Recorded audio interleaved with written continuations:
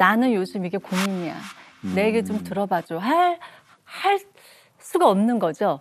저는 그런, 왠지 그렇게 하면 좀 실례인 것 같기도 하고, 음, 음, 왠지 그렇게 하면 좀 실례인 것 같기도 하고, 음, 음. 내 전화가 이렇게 반갑지 않을 수도 있는데, 뭐 이런 거 있잖아요. 그런 어. 생각 때문에 못하는 것 같- 같아요.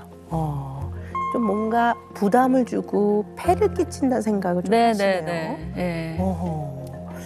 왜 그런 생각? 그게 왜 그런지 저도 모르겠어요. 네.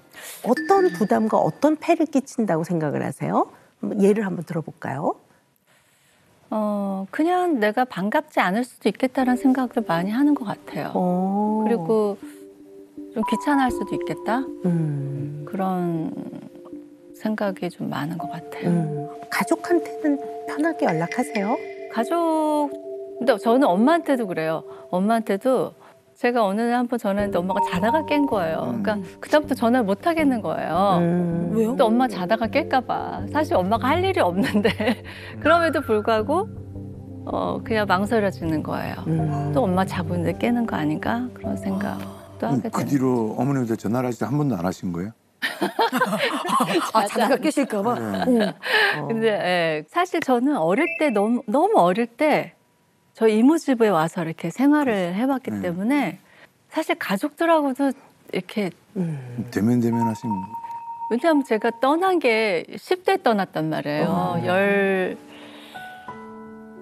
14살 그때쯤에 떠났으니까. 중학교 1, 2학년 때. 네, 아. 그러니까 그 어릴 때부터 쭉 함께 자라온 그런 가족처럼 어떤 그런 건 없는 것 같아요. 음. 그래서 더 그런 건가?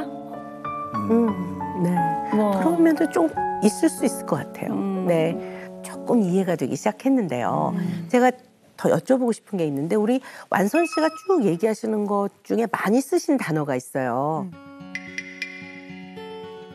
내 전화가 이렇게 반갑지 않을 수도 있는데 어, 좀 귀찮아할 수도 있겠다. 왠지 그렇게 하면 좀 실례인 것 같기도 하고. 음.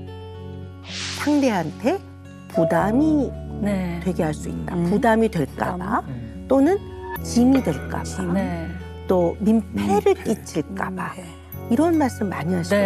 네.